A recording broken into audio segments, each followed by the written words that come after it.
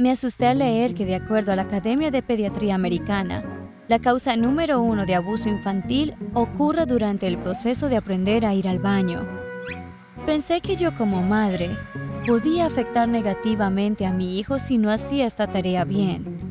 Afortunadamente, descubrí una app llamada Party Training Learning with the Animals, la cual fue desarrollada específicamente para tener éxito con esta tarea.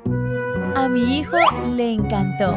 Es tierna y bien hecha. Es un cuento interactivo donde unos animales sienten mariposas en el estómago cuando tienen ganas de ir al baño y el niño es el responsable de llevarlos. Cuando termina entonces es su turno. Recomiendo a todos en esta etapa utilizarla, ya que permite que los padres salgan un poco del problema y que los niños aprendan a su propio ritmo y a la vez lo disfruten.